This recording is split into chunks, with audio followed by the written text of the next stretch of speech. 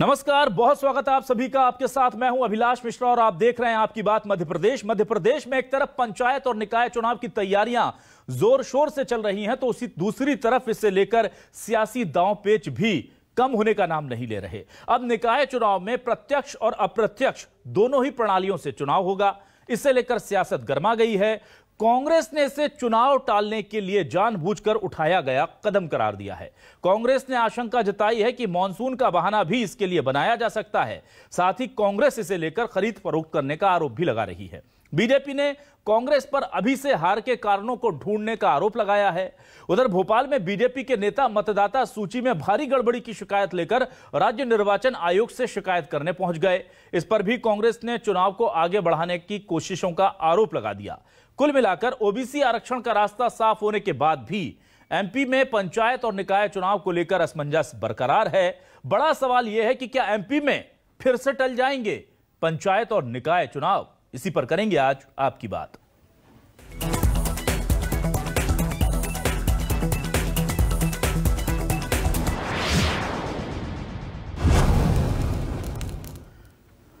कांग्रेस लगातार यह आरोप लगा रही है कि बीजेपी चुनावों को टालना चाहती है।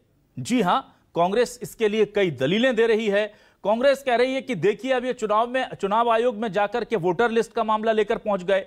देखिए, प्रत्यक्ष या अप्रत्यक्ष प्रणाली से चुनाव ना करा करके बीच का रास्ता निकाल रहे हैं, यानी कि महापौर तो जनता चुनेगी, लेकिन नगर पंचायत या नगर पालिका के अध्यक्ष को पार्षद चुनेंगे। ये तमाम अटकलें इसलिए लगाए जा रहे हैं, हथकंडे अपनाए जा रहे हैं, ये कांग्रेस कह रही ताकि चुनाव टल जाए। कांग्रेस के क्या है आरोप, सुनिए। राज शासन की ओर से ये निश्चित किया गया है कि जो महापौर का निर्वाचन होगा, वो प्रत्यक्ष प्रणाली से होगा। जनता के द्वारा सीधे निर्वाचन होगा। और जो नगर पालिका अध्यक्ष और उपाध्यक्ष, नगर पंचायत अध्यक्ष और उपाध्यक्ष का निर्वाचन पार्षदों के माध्यम से होगा। ये सरकार ने तय किया है। सरकार ने इसका अध्यादेश महामहिम राज्यपाल महोदय को भेजा था, जिसकी महामहिम से अनुमति प्राप्त हो गई है। इनके ही लोग, बहुत से, ये चले जाएँगे कोर्ट में, बीजेपी के लोग। और इस तरह की चीज़ों को कि एक समानता होना चाहिए, फिर कुल मिला के चुनाव रुकवाना चाहते हैं उसी सब है, जिससे कि चुनाव नहीं हुए, चुनाव नहीं चाहते, क्योंकि चुनाव आयोग, मौसम विभाग से भी पूछ रहा है कि मौसम कैसा है, चुनाव हो पाएगा कि नहीं। तो कुल मिला के इनकी नीयत ठीक नहीं है। और इधर बयानों को लेकर के ऐसा नहीं है कि मामला यही थम जाता है। बीजेपी कांग्रेस के नेता लगातार हमलावर हैं एक दूसरे पर। चुनावी मौसम क्या आया? ऐसा लग रहा है कि माहौल कुछ ज़्यादा ही गर्मा गया है। सुनिए कुछ और बयान। कांग्रेस पार्टी भी अध्यादेश लाई थी, जब भारतीय जनता पार्टी ने खूब हल्ला मचाया खरीद फरोख्त का आरोप लगाया। मैं अब भारतीय जनता पार्टी और शिवराज जी से जो अब अध्यादेश लाए हैं, उनको कहता हूँ कि विचार करो कि उस दिन क्या बोले थे। आज ये खरीद फरोख्त की तैयारी कर रहे हैं और ये खरीद फरोख्त चुनाव में निश्चित करेंगे। भारतीय जनता पार्टी की रीति नीति कहीं भी खरीद फरोख्त की नहीं है। हम नगरीय निकाय के चुनाव भी प्रचंड बहुमत से जीतेंगे और पंचायत के चुनाव भी हम प्रचंड बहुमत से जीतेंगे। ये जीतने का टोटा तो कांग्रेस के सामने कांग्रेस सब गॉन केस है मध्य प्रदेश में। ना उसकी ज़मीन है ना उसकी कोई हकीकत है। अब कांग्रेस पूरी तरह से समाप्त हो गई, ये तो खिसियानी बिल्ली खंबा नोचे जैसी बात है। आज एक बड़ा महत्वपूर्ण राजनीतिक घटनाक्रम देखने को मिला, जब बीजेपी का एक प्रतिनिधि मंडल चुनाव आयोग के दफ्तर पहुँचा और ज्ञापन सौंपकर कहा कि वोटर लिस्ट से हज़ार से लेकर पाँच हज़ार तक के नाम जो काटे गए हैं, उनका कोई आधार नहीं बताया गया है। अब इसे लेकर के सवाल खड़े कर दिए गए और कहा है कि आधार बताइए और एक संशोधित सूची, मतदाता सूची जारी कीजिए। क्या कहा है? जरा ये सुनिए।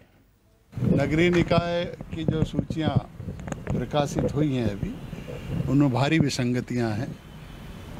पाँच पाँच छः छः हज़ार नाम एक एक विधानसभा में काटे गए हैं। हमने कहा है कि ये सूचियों को देख लिया जाए कि आखिर क्यों, मतदाता, मतदान निष्पक्ष होना है तो मतदाता सूची निष्पक्ष होना ज़रूरी है।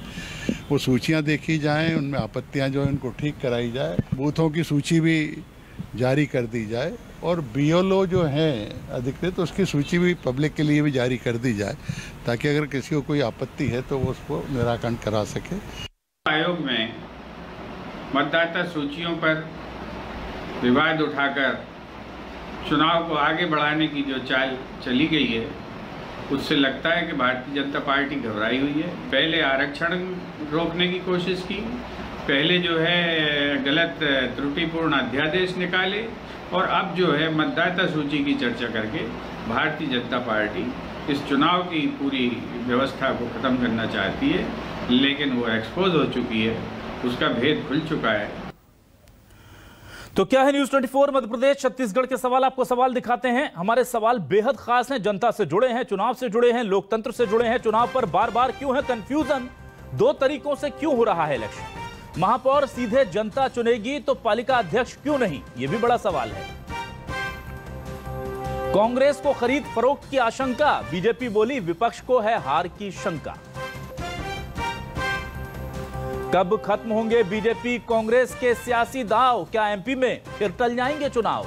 सबसे बड़ा और लाख टके का सवाल तो यही है कि क्या मध्य प्रदेश में चुनाव टल तो नहीं जाएँगे कहीं? हमारे साथ कुछ खास मेहमान जुड़ चुके हैं आइए सीधे रुक कर लेते हैं। हमारे साथ जयसिंह ठाकुर जी जुड़ चुके हैं पूर्व महापौर हैं कांग्रेस के वरिष्ठ नेता हैं। बहुत बहुत स्वागत करता हूँ ठाकुर जी आपका न्यूज़ 24 मध्य प्रदेश छत्तीसगढ़ पर। हमारे साथ शशांक श्रीवास्तव जी हैं बीजेपी के वरिष्ठ नेता हैं पूर्व महापौर हैं। शशांक जी आपका भी बहुत स्वागत करता हूँ हमारे खा, खास डिबेट शो में। और आज मृगेंद्र सिंह वरिष्ठ पत्रकार हमारे साथ जुड़े हुए हैं। मृगेंद्र जी आपका भी बहुत बहुत स्वागत है इस्तकबाल है। सबसे पहले मैं शशांक जी आपके पास आता हूँ। शशांक जी, महापौर को जनता चुनेगी बहुत अच्छी बात है, डायरेक्ट होना चाहिए, लोकतंत्र में जितना पारदर्शिता रहे उतना अच्छा है। ये बहुत अच्छा स्वागत योग्य कदम लगता है सुनने में। पर आप बताइए नगर पालिका अध्यक्ष और बाकी को लेकर के इस तरह का फैसला क्यों नहीं? और सवाल जो उठाए जा रहे हैं कि खरीद फरोख्त इसमें हो सकती थी, जिसे हमने टाल दिया, ऐसा क्या फॉर्मूला है जिससे खरीद फरोख्त नहीं होगी?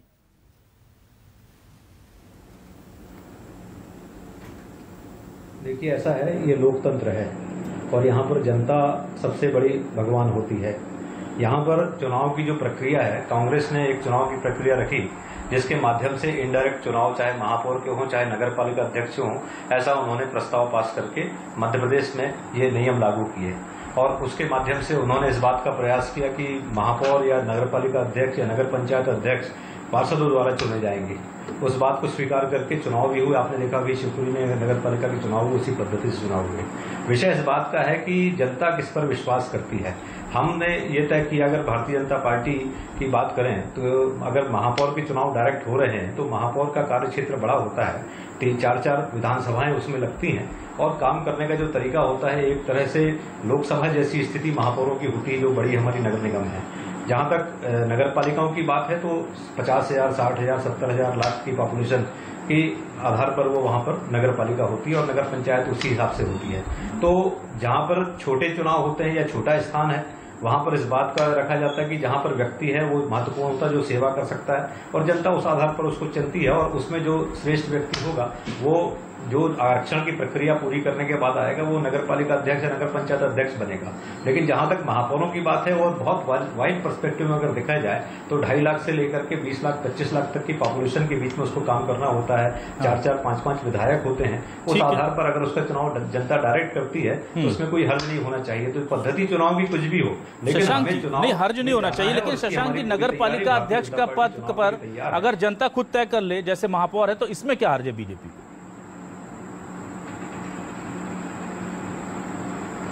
नहीं पहले भी नगर पालिका अध्यक्ष को जनता ने चुना था और उस आधार पर चुनाव हुए थे भारतीय जनता पार्टी के कार्यकाल में हम्म। और उसके बाद कांग्रेस ने उसमें परिवर्तन किया हम्म। तो उसके आधार पर भी हम चुनाव लड़ने को तैयार थे और अगर महापौर की कार्यप्रणाली और नगर निगम की कार्यप्रणाली में और किसी नगर पालिका की कार्यप्रणाली में जो अंतर होता है उसको ध्यान में रखते हुए सरकार ने फैसला किया है और अगर ये अध्यादेश आता है तो इस तरह से भी चुनाव हों क्योंकि ये अलग अलग पूरे भारतवर्ष में जैसे महापौर हैं तो हर जगह अलग अलग पद्धति होती है चुनाव की।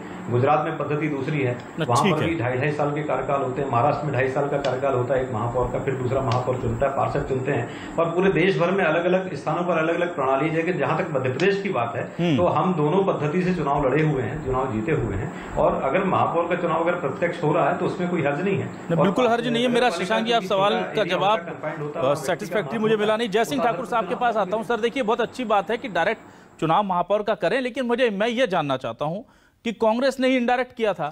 अब कांग्रेस कैसे बीजेपी को सवालों के कटघरे में खड़ा कर सकती है? कि नहीं साहब आप डायरेक्ट कराइए। अब जब वो डायरेक्ट कर रहे थे आपने कहा हम इनडायरेक्ट कराएँगे बीजेपी ने कहा हम ठीक है बीच का रास्ता कुछ डायरेक्ट कुछ इनडायरेक्ट अब इसको लेकर कांग्रेस को नैतिक तौर पर आपत्ति जताने का हक होना चाहिए क्या? बिल्कुल होना चाहिए अभिलाष जी जी। देखो देश में कहीं पर भी ये ज़रूर है कि कहीं हमारे देश में किसी प्रदेश में प्रत्यक्ष प्रणाली से है और किसी प्रदेश में अप्रत्यक्ष प्रणाली से लेकिन पूरे देश में कहीं भी एक ऐसा प्रदेश बता दीजिए कि महापौर का तो प्रत्यक्ष प्रणाली से और नीचे जो नगर पालिका है और नगर पंचायत है उसका प्रत्यक्ष प्रणाली से ऐसा जो देश में कहीं नहीं है ये तुगलकी फरमान है और ये सिर्फ़ भारतीय जनता पार्टी चुनाव से बचना चाहती है और इसलिए इस तरह के हमेशा कभी आरक्षण का मसला ले आती है कभी खुद के लोगों को कोर्ट में खड़ी कर देती है। ये चुनाव कराना नहीं चाहती है ये लोकतंत्र का गला घोट रही है। चुनाव एक्चुअल में छह महीने से ज़्यादा आप बढ़ा नहीं सकते हो। आज पूरे दो साल होने को आए हैं ढाई साल होने को आए हैं ये चुनाव कराना नहीं चाहती है। मनमानी चल रही प्रशासनिक अधिकारियों की। नगर निगमों में भ्रष्टाचार जो, जोरों पर है और ये पूरा डायरेक्ट इनडायरेक्टली ये भ्रष्टाचार ऊपर तक पहुँच रहा है। इसीलिए चुनाव कराना नहीं चाह रहे हैं। यही बात है। बाकी कांग्रेस कुछ डर नहीं रही। कांग्रेस ने बोला था कि भाई एक रूपता होना चाहिए कानून कांग्रेस ने महापौर नगर पालिका और नगर पंचायत तीनों से चुनाव क्यों नहीं कर कुछ भी नहीं है। ये चुनाव से डरना चाहते हैं चुनाव नहीं कराना चाहते हैं ये। और नगर निगम में जो भ्रष्टाचार है उसको और बढ़ावा देना चाहते हैं। ठीक है। मृगेंद्र जी ये बहुत मेरा जो सवाल है ये बहुत ही बहुत देर से मुझे परेशान भी कर रहा है और मुझे खुशी थी कि आज एक एक मिनट शशांक जी आऊँगा सर आपके पास। मैं मृगेंद्र जी के पास आ जाऊँ। मृगेंद्र जी ये सवाल पूरे मध्य प्रदेश के लोग जानना चाहते हैं और इसके पीछे की असलियत आपसे बेहतर कोई नहीं बता सकता कि ये जो हाइब्रिड पद्धति से चुनाव होने जा रहा है मध्य प्रदेश में हाइब्रिड इलेक्शन सर इसके पीछे सरकार की या बीजेपी पार्टी की मंशा क्या है? ये समझना चाह रहे हैं लोग क्योंकि ये इतने पहले हमने देखा कि बीजेपी भी बहुत असमंजस में रही। पहले कहा कि हम सरकार कांग्रेस सरकार के फैसले को पलटेंगे। हम डायरेक्ट कराएँगे। फिर उसके बाद कहा कि नहीं इनडायरेक्ट कराएँगे। फिर अभी कुछ दिनों पहले कहा कि डायरेक्ट कराएँगे। फिर उसके बाद कह दिया, नहीं नहीं नहीं, वो कुछ गड़बड़ हो गई इनडायरेक्ट कराएँगे। और फिर ये बीच का रास्ता निकला है। तो कोई बड़ा पेच है जो सरकार को या बीजेपी को खटक रहा है? वो क्या पेच है सर, समझाइए।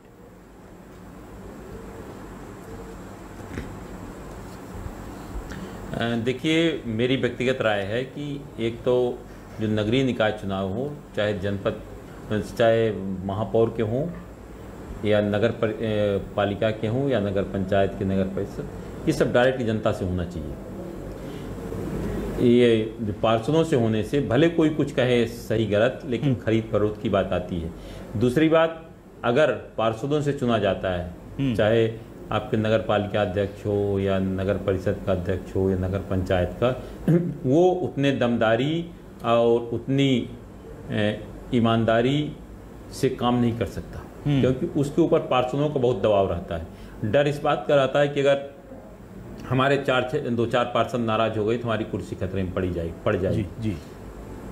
फिर वहाँ बहुत सारे दबाव होते हैं। स्थानीय नेताओं का भी दबाव हो जाता है स्थानीय विधायकों का दबाव हो जाता है। और और जितने दबाव जो पार्षदों से चुना जाता है परिषद अध्यक्ष या महापौर या नगर पंचायत अध्यक्ष निश्चित रूप से वो उतनी दमदारी से कोई निर्णय नहीं ले सकता। नहीं ले सकता। ये जो निर्णय हुआ है ये खुद समझ में नहीं आ रहा कि अगर भारतीय जनता पार्टी क्यों चुनाव से डर रही मुझे लगता है कि महापौर ठीक है महानगरों में कुछ। जगह हो सकता है विधायकों का दबाव हो या और बहुत सारे स्थानीय मुद्दे हो सकते हैं चाहे बिजली की समस्या हो सकती है महँगाई जो सबसे बड़ा इशू है वो वो हो सकता है या पिछले तीन पाँच सात साल में कुछ काम न हुए हैं या बेरोजगारी कई जगह स्थिति ऐसी है हम्म। इस कारण भी हो सकता है कि विधायकों के दबाव और जो वर्तमान स्थिति को देखते हुए निर्णय लिया देखिए जो पार्षद चुन के आएँगे वो हम्म। निश्चित रूप से अपने दम अब खम पे चुन के आएँगे उसमें हर नगर जो सत्तारूढ़ पार्टी होती है हम्म। उसके पास काफ़ी प्रिविलेज रहता है कि वो वहाँ सरकार बना सके। बना सके। उसके पीछे कारण ये रहता है कि अधिकार अधिकांश नगर पालिका नगर पंचायत में देखी हर जगह कहीं चार छह दो चार निर्दलीय या अन्य दल के चुन के आते हैं हम्म। जो निश्चित रूप से बहुमत से भले दूर दल खड़े हों लेकिन सत्तारूढ़ पार्टी इस तरह चले जाते हैं।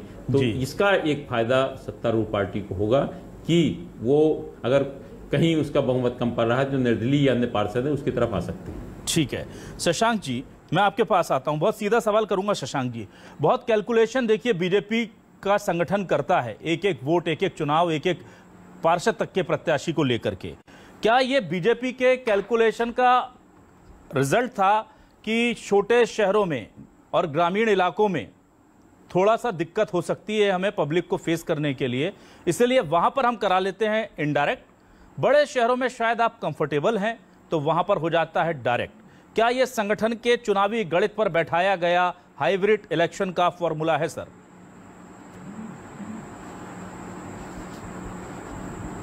नहीं, मैं इस बात से सहमत नहीं हूँ आपकी। मेरा ये इसमें आपके इसका सामने कहना है ये जो चुनाव हुए हैं, चाहे वो डायरेक्ट हो, चाहे इनडायरेक्ट हो, भारतीय जनता पार्टी चुनाव से एक तो कभी पीछे नहीं है। जहाँ तक विकास की बात है तो प्रत्येक वार्डों में, प्रत्येक शहर में विकास हुए हैं। नगरीय क्षेत्र में विकास हुए हैं। स्वच्छ भारत मिशन के अंतर्गत पैसा आया है। अमृत योजना के अंतर्गत कार्य हुए हैं। छोटी नगर पालिकाओं में भी हुए, नगर पंचायत में भी हुए हैं। और उसके अलावा हमने देखा है कि प्रधानमंत्री आवास के कार्यक्रम सब जगह हुए हैं। विकास के कार्यक्रमों में कहीं कोई रोक टोक नहीं, क्योंकि मैं खुद पाँच साल महापौर रहा हूँ। और मैंने कांग्रेस के मित्रों से जो जैसे जी ने कहा कि भाई चुनाव कांग्रेस के कार्यकाल में ही हमारा कांग्रेस के कार्यकाल के दौरान ही महापौर का हमारा कार्यकाल पूरा हुआ था। और कायदे से उस वक्त चुनाव हो जाने चाहिए थे लेकिन चुनाव नहीं हुए। उनके पास में पर्याप्त एक साल का समय था उन्होंने चुनाव नहीं करवाया। कोविड कारण हो सकता कोई भी कारण हो सकता है। लेकिन कुल मिलाकर के मेरा ही कहना है कि चुनाव चाहे डायरेक्ट पद्धति से हो चाहे इनडायरेक्ट पद्धति से हो पार्षद भी योग्यता के आधार पर चुन के आते क्योंकि स्थानीय मुद्दों के आधार पर पार्षद वहाँ पर अपना चुनाव लड़ता है। और ये जितनी भी छोटी से छोटी नगरीय निकाय होती हैं वो सारी स्थानीय आधार पर अपना काम करती है क्योंकि सबकी जरूरतें अलग अलग होती हैं। हर नगरीय निकाय की जो भौगोलिक स्थिति रहती है जो सामाजिक परिस्थिति रहती है अलग अलग रहती है। और वहाँ उस आधार पर चुन करके आते हैं जहाँ मान लीजिए पंद्रह पार्षद हैं। तो पंद्रह पार्षद जब काम करते हैं तो मिलजुल करके तो कोई बहुत बड़ी बात नहीं रहती। सामान्यतः नगर पंचायत में पंद्रह से अठारह पार्षद होते हैं। कुछ नगर पालिका ऐसी होती है जहाँ बीस पच्चीस वार्ड है वहाँ पर होता है। तो एक छोटा कन्फाइंड एरिया होता है कि वहाँ पर सब मिलजुल के काम कर सकते हैं शहर के विकास के लिए काम कर सकते हैं। भाजपा किसी भी चुनाव पद्धति से पीछे नहीं हटती है। ना तो शशांक जी शशांक जी फिर ये फिर ये सर शशांक जी फिर ये आप आप ये आज़ादी क्यों लेना चाहते हैं कि जब कमलनाथ जी ने इनडायरेक्ट चुनाव करने को कहा था तो आप बीजेपी ने गला फाड़ फाड़ करके उसका विरोध नहीं किया था क्या? और अगर तब वो चीज़ें बुरी थी तो आज कैसे सही हो गई? तब भी शहरों का और बड़े और छोटों का फॉर्मूला जो आप दलीलें दे रहे हैं, वो तो तब भी बैठती थी, सर। तब आप कह देते कि नहीं, महापौर का करा दीजिए, बाकी तो आपका अप्रत्यक्ष ठीक है। तब आपने पूरे अप्रत्यक्ष प्रणाली को ही गलत ठहराया, कांग्रेस की मंशा पर सवाल उठाए, और आज आप जब वही कर रहे हैं तो उसे जस्टिफाई भी कर रहे हैं, सर।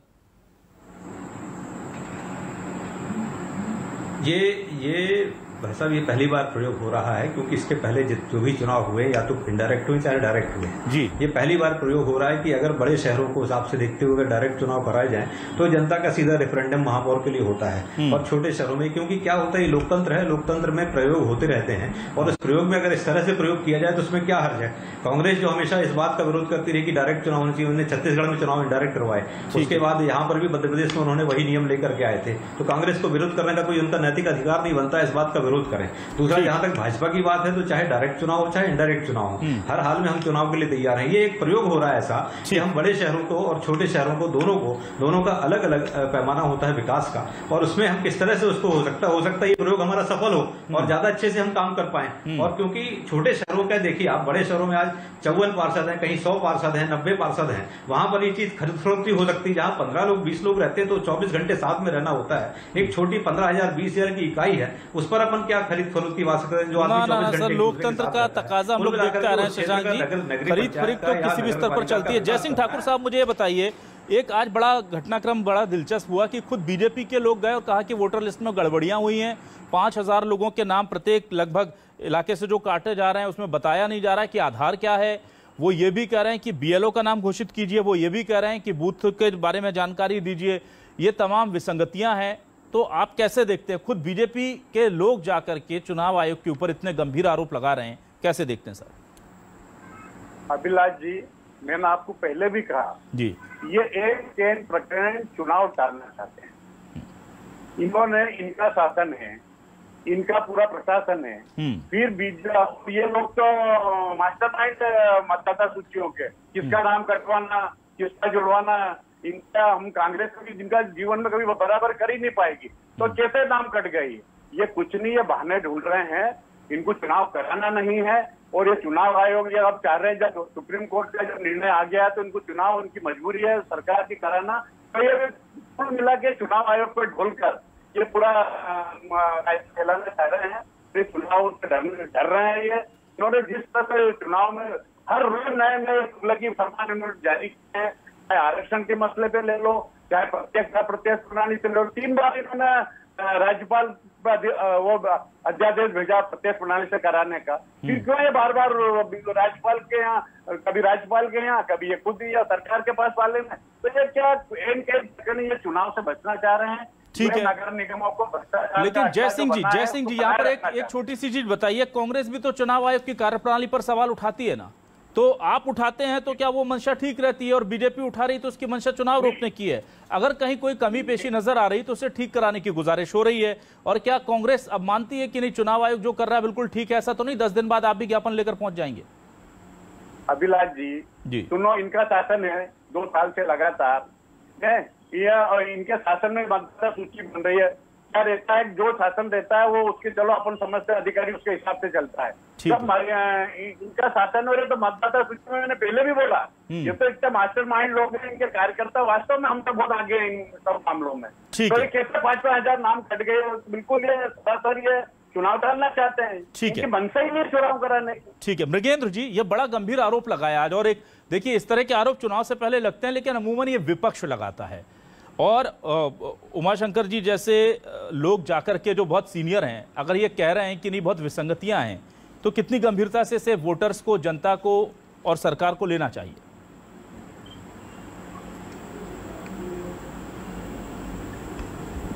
देखिए, निश्चित रूप से उमाशंकर जी बहुत वरिष्ठ नेता हैं, महापौर, राष्ट्रीय महासंघ महापौर संघ के पदाधिकारी भी हैं। वो अगर कोई बात बोल रहे हैं, निश्चित रूप से कुछ ना कुछ उसमें सत्यता होगी।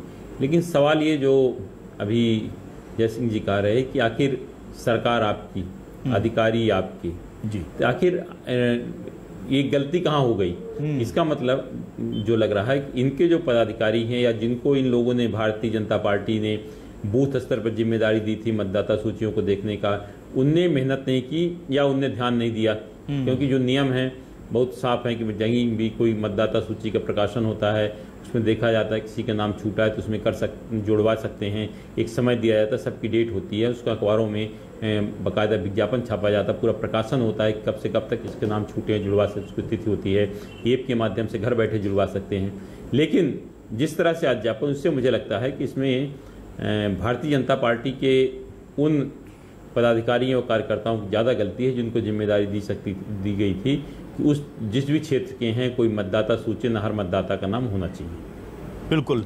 और ज़ाहिर सी बात है कि जैसे मध्य प्रदेश में पंचायत और निकाय चुनाव को लेकर जैसे जैसे माहौल गर्मा रहा है, रोज नई चीज़ें सामने आ रही है, लेकिन एक चीज़ तो तय है कि सरकार ने ये जो फॉर्मूला बीच का निकाला है, भले ही ये प्रयोग हो, संयोग हो या मजबूरी, इसका आधार जनता के सामने पेश करने में अभी तक कम से कम मुझे लग रहा है कि शायद संगठन और सरकार दोनों जो हैं वो नाकाम साबित हो रहे हैं। बताना तो चाहिए कम से कम कि आखिर क्या वजह है कि एक तरफ़ ऐसा चुना, दूसरी तरफ़ वैसा चुना। हमने उस व्यवस्था को क्यों अपना लिया जिसकी हम बुराई करते थे? हमने उस व्यवस्था को क्यों छोड़ दिया जिसको लेकर के हमने तीन बार प्रस्ताव भेजा, तीन बार विधेयक भेजा? ये बहुत सारे सवाल हैं जो जनता के मन में हैं।